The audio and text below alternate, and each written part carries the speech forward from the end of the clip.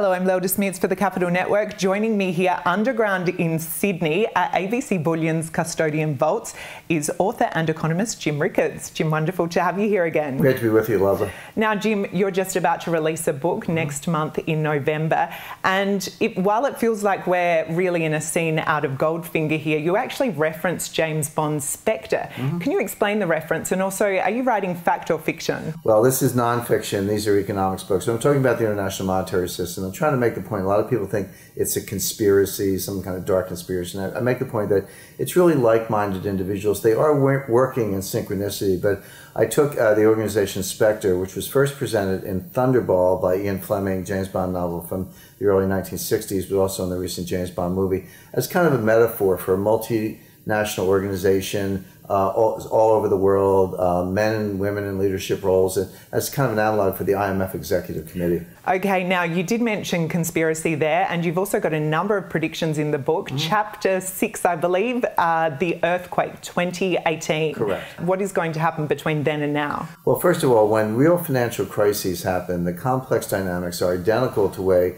to the way real earthquakes work. So, uh, you know, it's, a, it's it's complexity. The system builds up, builds up pressure, and then it snaps it can happen in earthquakes. It can happen in finance. 1998 was a foreshock. That was the long-term capital management crisis. You know, I negotiated that bailout on behalf of LTCM. 2008, people don't need reminding. The entire uh, financial system, we were days away from the sequential collapse of every bank in the world. So I take that 10-year tempo, come forward 10 more years, and hypothesize a collapse in 2008. But it could happen tomorrow. That's the point. It'll be worse than the last one. So what you're doing is really warning people here. Correct. But I must say they are very dramatic warnings. And when you start to talk about conspiracies, what do you believe gives your theories weight here and makes them more than a conspiracy but a fact? Because I use science and I use complexity theory. I use behavioral economics. I use an applied mathematical uh, tool called Bayes' theorem. It's all explained in the book. By the way, I do it in plain English. You can make it as geeky as you want, but this book is very accessible.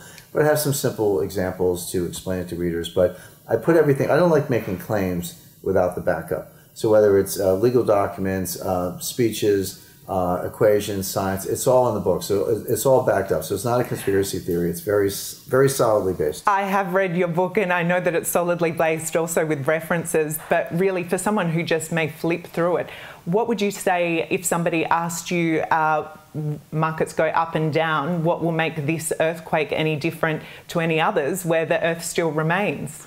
Well, you know, in 1998, Wall Street bailed out a hedge fund. In 2008, the central banks bailed out Wall Street in the next crisis, someone's going to have to bail out the central banks. In other words, as we go through these successive crises, no problems are solved. Each crisis gets bigger than the one before. The bailout gets bigger than the one before. So who's bigger than the central banks? There's only one clean balance sheet left in the world. That's the IMF. So whether it's 2018 or sooner, the IMF will bail out the central banks with world money, which they call the special drawing right or SDR. So that's what's different. And of course, the basis of this is what you describe in the book's title as being the secret plan. But Jim, right. now the secret's out, what do you expect will happen any differently? Uh, actually, nothing. I mean, when you write a book like this, um, I hope it gets a wide audience. My other books, Currency Wars and The Death of Money, have. But you know, I, I, sort of write for everyday citizens around the world, whether it's Australia, the United States, or, or Europe. Um, the uh, I doubt very many of the the PhD uh, Harvard professors are reading it. Perhaps they should, uh, but I don't think it will change their plan. I don't think it will change the outcome. But what I'm trying to do is give people warning. Say, look, you don't have to be a victim.